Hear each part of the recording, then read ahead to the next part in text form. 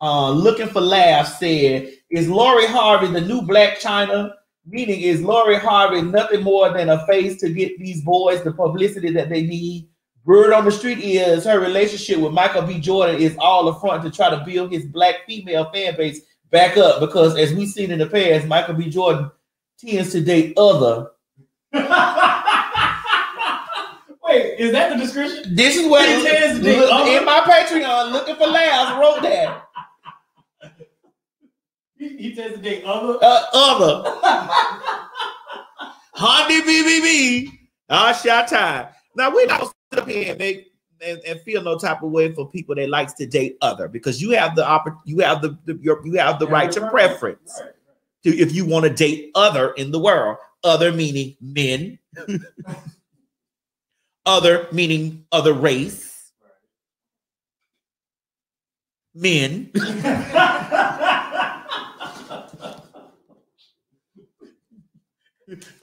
I'm sorry. I ain't trying to be messy, but men. We got it. There we go. Let's let's look at let's look at the let's look. Laura Harvey. Let me tell you something. Laura Harvey ain't out here in these streets playing with nobody's pussy, bitch. Her pussy is the highest thing on the market.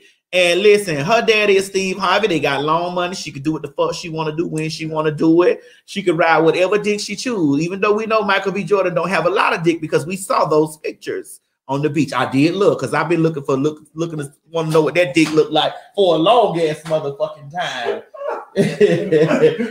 I was out there searching, and honey, it had done popped up on the internet, and then, it, it had done popped up there on the internet, and next thing you know, god damn it, I was like, damn, is that all he got to work with? My God, today. Yeah, you see, somebody said she was just with Future. That's what she was with. Yeah, you know. Now here's my thing: Is Lori Harvey the Hollywood beard?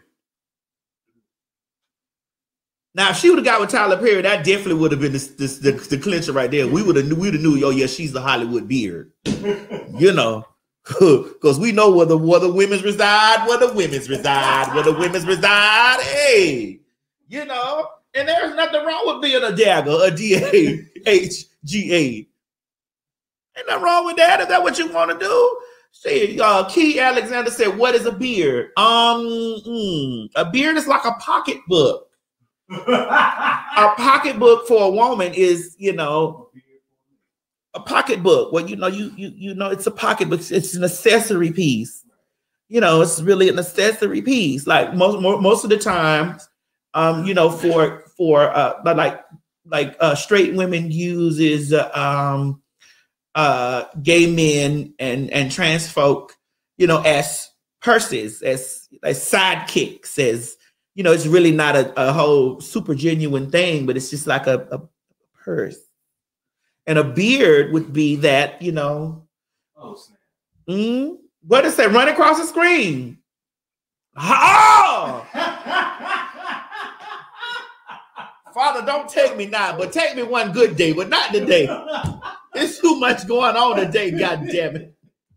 Came out the back. It came out the back. It damn sure did. Talk about Bishop Eddie Long. It definitely came out the back. oh my God. A beard, a pocketbook, a first lady, you know.